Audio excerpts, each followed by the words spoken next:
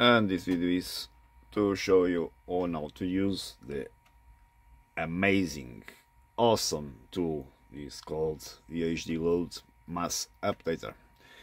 This will update your WHDLoad collection slaves online. So first you guys need to make sure that you are connected to the network. Yes to the internet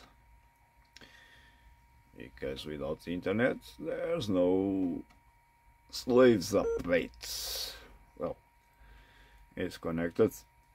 And now if you guys go over the top and system and WHDLoad you will have a section for the WHDLoad wrapper. And select WHDLoad mass updater like this track it will open this window. So you guys can just update the collection the games collection that is included in caffeine or you guys can change the path for your own WHDLoad collection okay? In this case I will use the default one and just click update. So it will run. It will check online if there is slaves to be updated or not.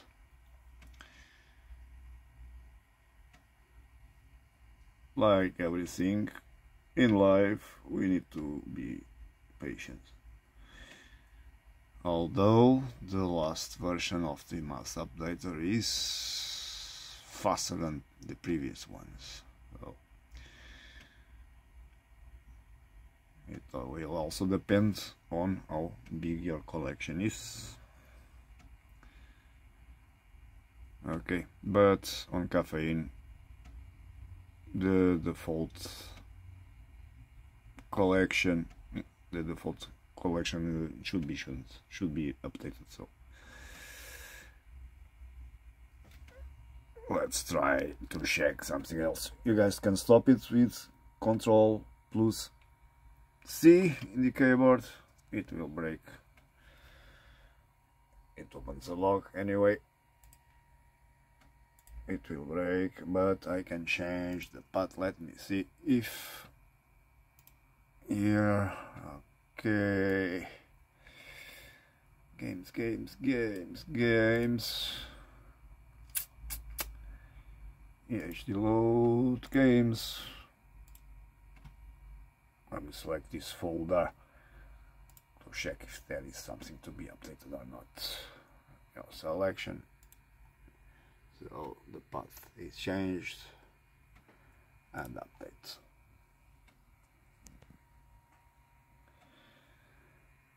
yeah nothing to be updated. This sucks no, no updates necessary. Let's try a, a different one. Okay.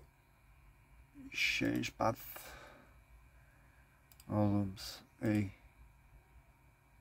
Games games games games. Games usually load games I really don't know hey. Okay. Okay. Update ah boring boring. There's nothing to be updated. I really wanted to show you guys. Well I will do something different. Control C to quit. Oh bye bye okay. Cancel. And I will try to download the game. So this should be VHD load no VHD download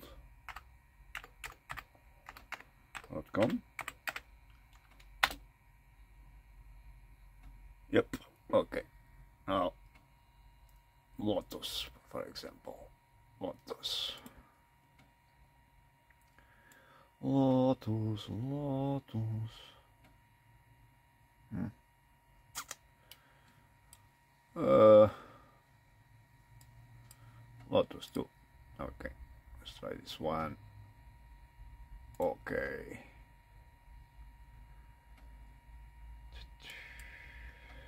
Then let's go to the RAM and what let us do is drag it here and okay now let's run it again. WHDLoads mass updater change paths volumes this case in the RAM Lotus select okay okay and update aha. So. Okay it updated the slave. Opens the log in the end.